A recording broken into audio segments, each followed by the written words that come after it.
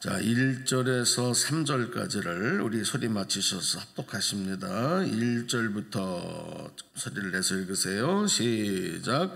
일어나라 빛을 발하라 이는 내 빛이 이르렀고 여호와의 영광이 내 위에 임하였음이니라 보라 어둠이 땅을 덮을 것이며 캄캄함이 만민을 가리려니와 오직 여호와께서 내 위에 임하실 것이며 그의 영광이 내 위에 나타나리니 나라들은 내 빛으로 왕들은 비치는 내 광명으로 나오리라 아멘.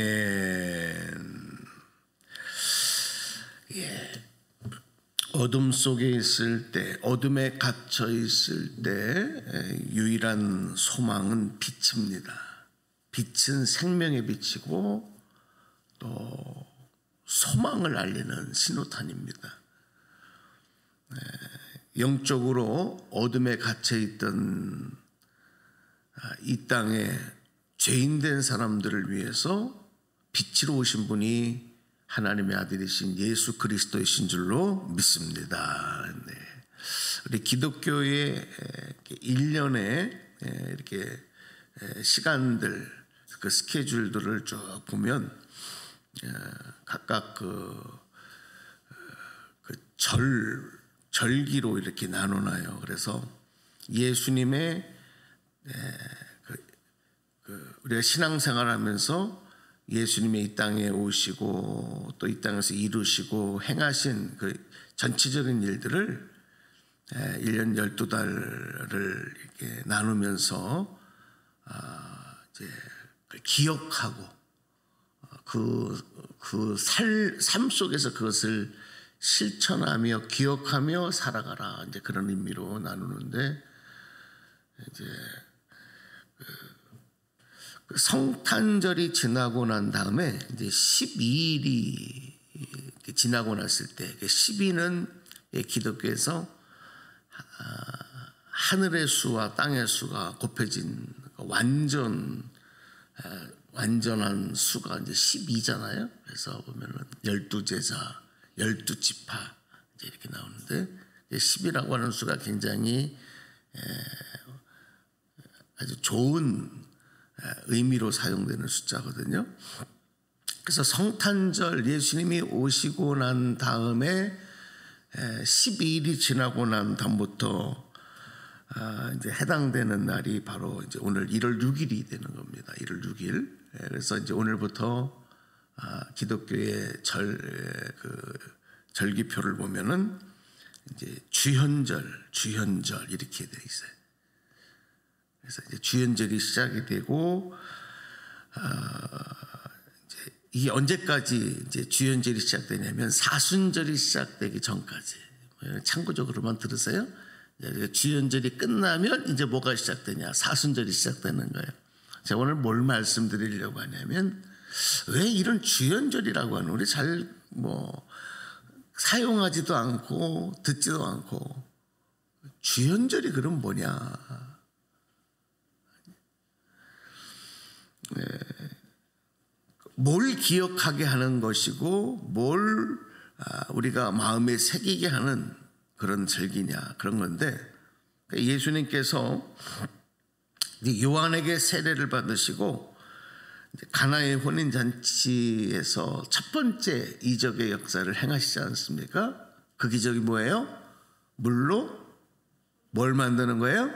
포도주를 만드는 역사가 예수님의 첫 번째 기적의 역사예요. 그 기적을 베푸시고 어, 본격적으로 하나님의 아들로서 하나님의 아들로서 어, 참 모습을 나타내시기 시작하는 이게 이제 어, 그것을 생각하고 기억하고 우리가 묵상하게 하는 그 절기가 바로 이제 주현절입니다. 그 전까지 예수님은 나사렛에서 요셉의 아들로, 그렇죠? 마리아의 아들로, 목수의 아들로 그렇게 성장하시고 생활하셨어요. 그래서 그리고 아주 본격적으로 감춰져 있던 인간 예수, 나사렛 예수, 요셉의 아들 예수가 아니고 하나님의 아들로서의 참 모습을 나타내신 바로 그것을 기억하는 그래서 주연절이에요. 그러니까 여러분들이 이제 사순절 되기 전까지 아 예수님께서 본격적으로 우리에게 감추어져 있던 하나님의 아들의 모습을 나타내신 그 예수님의 모습과 또, 또 그때 일어났던 일들을 기억하면서 우리가 묵상하는 일이 참 중요하겠죠.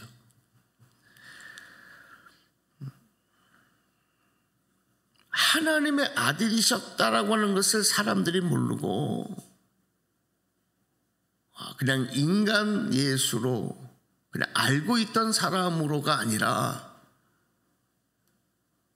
하나님의 참 모습이 사람들에게 드러났을 때 그리고 이제 그러고 그렇게 되어진 예수님의 생애를 이제 우리는 공생애다. 공생애. 어제도 말씀을 드렸지만 그 공생애가 음, 예수님이 30이 되셨을 때 시작이 되어져서 이제 33세가 될 때까지 3년 동안 펼쳐지는 생애입니다. 네. 자, 예수님이 이 땅에 오셨을 때, 아, 이 땅에 성탄하시며 태어나셨을 때, 하늘에서 아, 제일 먼저 이 땅에 살고 있던 사람들에게 그 예수님의 탄생을 알린 것은 하늘에서 별입니다. 별. 별이 되는 거예요. 밝은 별이 되는 거죠. 그 별에서 나오는 그 빛이 예수님의 탄생을 알렸어요. 동방의 박사들이 그 별을 보고 이제 아기 예수님을 찾아가서 경배하죠. 어둠을 밝히는 빛으로 이 땅에 오신 예수님. 요한복음 1장 9절의 말씀 보면 예수님이 빛으로 이 땅에 오셨다라는 말씀을 기록하고 또 선포하고 있습니다.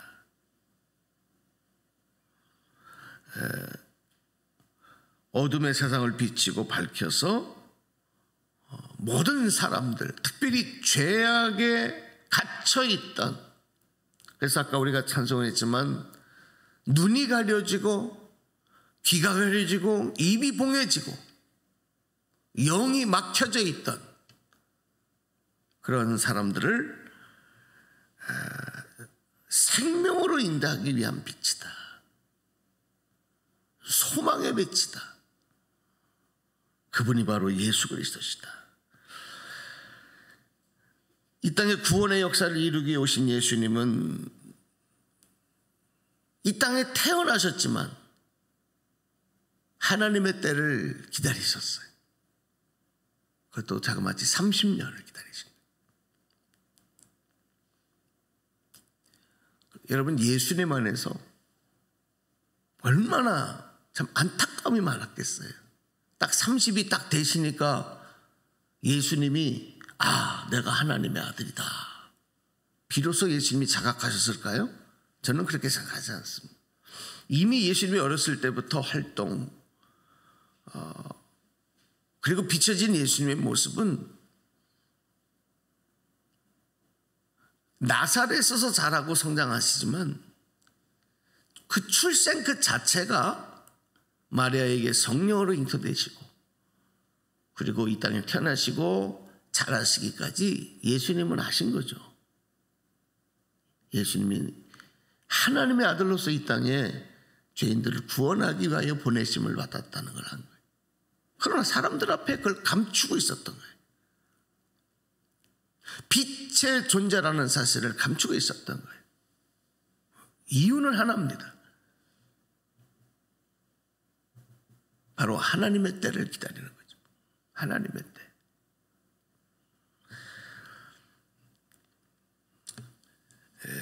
그리고 마침 때가 이르렀을 때 예수님은 빛의 사명을 감당하신 겁니다. 자, 오늘 우리가 하나님의 자녀가 된다고 하는 것은 또 하나님의 자녀가 될 수 있는 것은 빛으로 오신 예수님을 믿음으로만 할렐루야.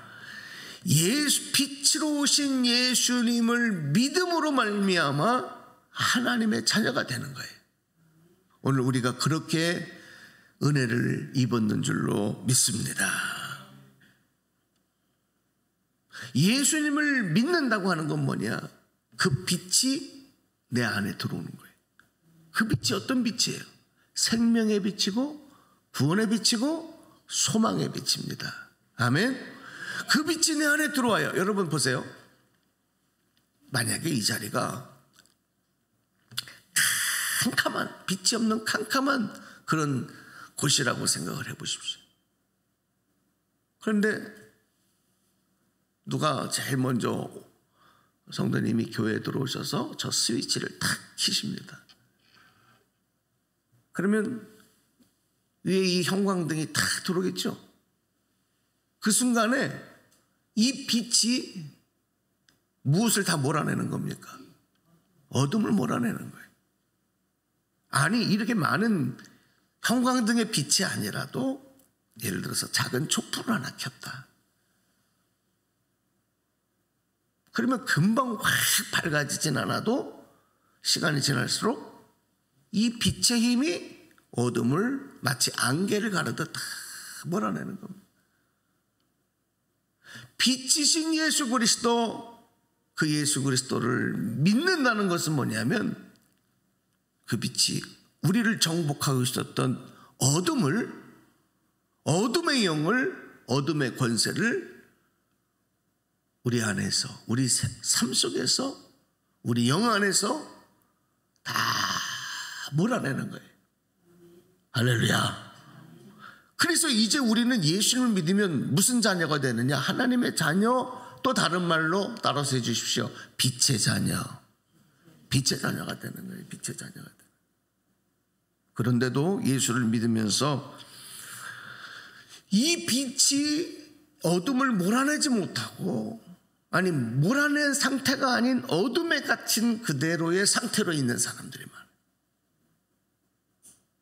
이거는 빛이 힘을 잃은 것이 아니라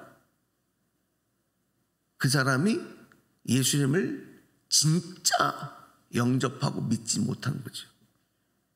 예수님을 믿음으로 예수님이 빛이신 예수님의 그 영이 그 빛이 내 안에 들어오면 반드시 우리들의 삶의 어둠의 권세는 정복당하고 빛의 영이 물러가게 될 줄로 믿습니다.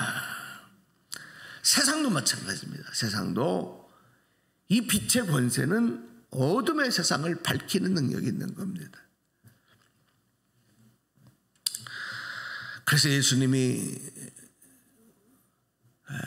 우리에게 말씀하신 것은 뭐냐면 너희는 세상의 빛이라. 빛이 되어야 된다. 너희는 세상의 소금이 되어야 된다. 빛과 소금이 되어야 된다고 하는 것을 우리에게 말씀하셨어요. 우리의 빛을 비춰 우리의 삶을 보고 세상이 하나님께 영광을 돌리게 하는 삶을 살아야 된다. 이것이 빛의 자녀가 감당해야 될 의무와 책임인 거예요. 여러분, 더 이상 악한 사단이 던져주는 이 어둠의 영에 갇혀서 우리가 하나님의 구원의 대역사와 섭리를 눈으로 보면서도 보지 못하고 귀로 들으면서도 듣지 못하고 또 주님께서 우리의 당부하신 그 사명을 입이 있으면서도 입이 봉해져서 전하고 간증하고 자랑하지 못하는 인생이 아니라 그 빛의 능력으로 여러분 모든 어둠의 권세를 물리치신 예수 그리스도의 자녀로 예수 그리스도의 제자로 빛의 자녀로 살아가는 저와 여러분 되시기를 주님의 이름으로 축복합니다. 우리의 삶에서 염려와 걱정, 근심도 어둠의 영에 의해 나타나는 것입니다. 주님이 주시는 은혜는 평안이고 은혜고 감사이고 기쁨인 줄로 믿습니다. 그래서 항상 기뻐하라. 쉬지 말고 기도하라. 범사에 감사하라.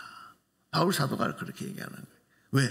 어둠의 영이 아닌 빛의 영이신 예수님이 우리 안에 그 생명으로 살아갈 때 오늘도 여러분 감사하며 기뻐하며 주님의 주신 참 자유함과 행복을 누리는 빛의 자녀로서의 삶. 오늘 그 삶으로 하나님께 영광 돌리고 또 오늘 그 믿음의 소망을 가지고 또 기도하며 승리의 출발을 달려가시는 그런 저와 여러분 다 되시기를 주님의 이름으로 간절히 축복합니다. 축원합니다. 기도